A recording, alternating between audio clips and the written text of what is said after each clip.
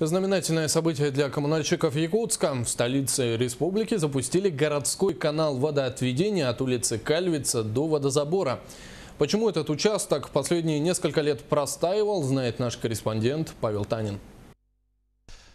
Еще полгода назад на этом самом месте, где я стою, находилось озеро глубиной 4 метра. Сейчас здесь есть задаток технической дороги и проточный канал, который поможет Якутску избавляться от лишней воды, в том числе дождевой. Более 15 лет канал на этом участке был фактически забит и не функционировал. В этом году начали работы по восстановлению проточности в городе. И вот первый результат. За полгода рабочие осушили озера, провели отсыпку и выкопали канал длиной более трех километров.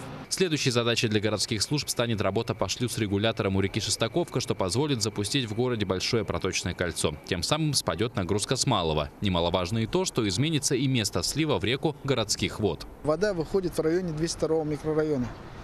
И фактически вода выходит, после этого задевает ну, дамбу, потом очистные сооружения, а, основной поток. Вот этот поток, он должен был предусматривать вывод воды после очистных сооружений. В дальнейшем при наличии финансирования проведут и работы по облагораживанию канала, в частности бетонированию. Но по заверению специалистов, земляной канал со своими задачами может справляться не хуже. Павел Танин, Владимир Павлов, НВК «Саха», Якутск.